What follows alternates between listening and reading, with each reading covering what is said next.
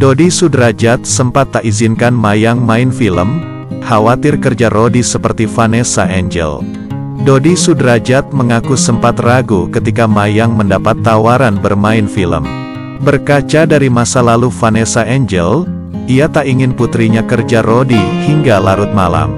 Sebenarnya sih kalau Mayang awalnya memang Dedi nggak begitu mau menerima layar lebar, kata Dodi Sudrajat di Senopati, Jakarta Selatan. Minggu, tanggal 10 April tahun 2022. Awalnya saya ngelihat almarhum Vanessa kalau main film.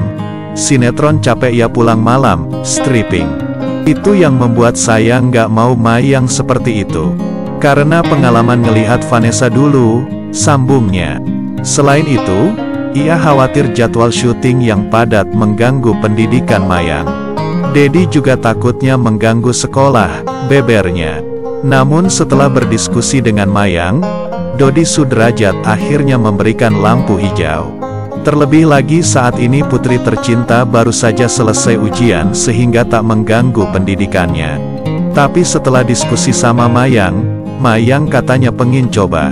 Mungkin tertantang juga kali ya. Nah menunggu wisuda pembagian ijazah itu dia lagi libur. Jadi hitung-hitung ambil job dia lagi libur ya sudah diambil aja layar lebarnya, terangnya. Meski-meski begitu, Dodi Sudrajat mengajukan beberapa syarat.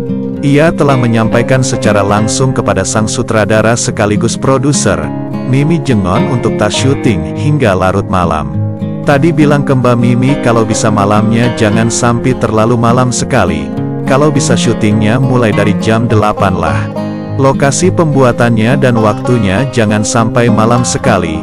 Kasian juga Mayang, tuturnya.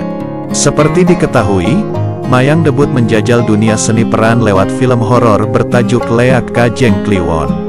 Tak tanggung-tanggung, ia menjadi pemeran utama di film yang dinaungi Skyline Film.